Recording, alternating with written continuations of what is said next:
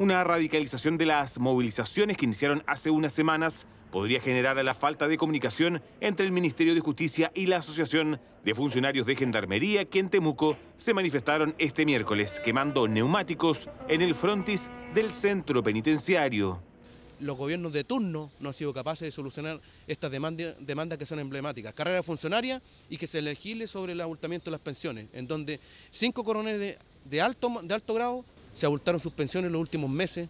para llevársela para su casa prácticamente se robaron gendarmería y por culpa de esas personas nosotros estamos pagando los platos rotos, los trabajadores de gendarmería, los oficiales, los que realizamos la labor al interior de los recintos carcelarios. Pese a que la semana pasada el ministro de Justicia estuvo en la región, este no quiso reunirse con los dirigentes de la ANFUP, señalan los dirigentes, y tampoco ha agendado una instancia para generar un diálogo con los trabajadores penitenciarios. Nosotros hacemos un llamado a la autoridad política, senadores, diputados,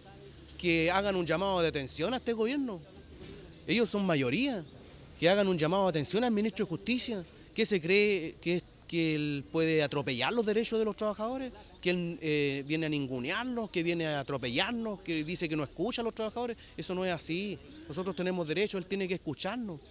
Este gobierno que se está cayendo a pedazos, se está cayendo a pedazos justamente por la mala administración, por no saber escuchar a los actores en las situaciones problemáticas. Los funcionarios de Gendarmería no descartan, si no hay un acercamiento de la autoridad, paralizar sus funciones, tal como ocurrió en el año 2010, cuando no permitieron el ingreso y traslado de reos desde las cárceles hasta los tribunales de justicia.